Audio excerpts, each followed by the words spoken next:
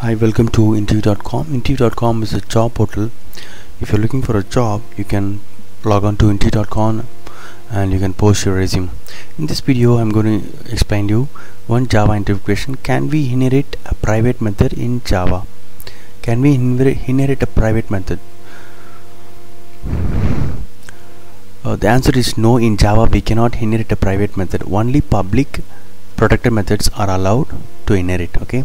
I'll show you an example. We have a class called parent class and we have a child class which extends from the parent class okay? We have a parent class and we have a child class.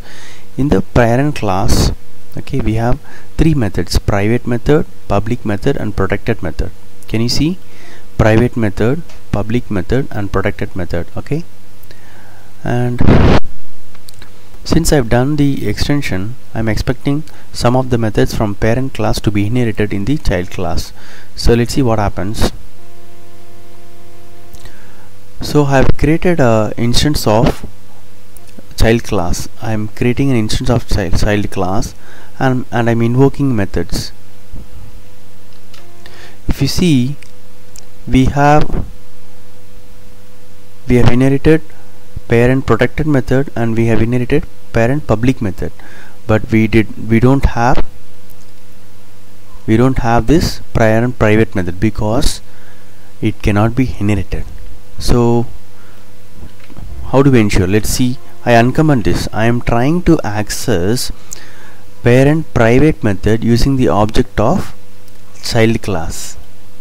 Okay?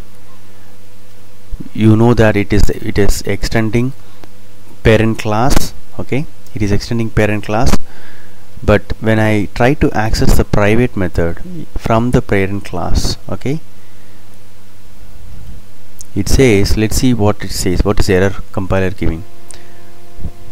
The method parent private method from the type parent class it's not visible. So change the visibility of this method to default or public. That's what it says okay Hope this video is useful for your Java interview. Thank you and all the best.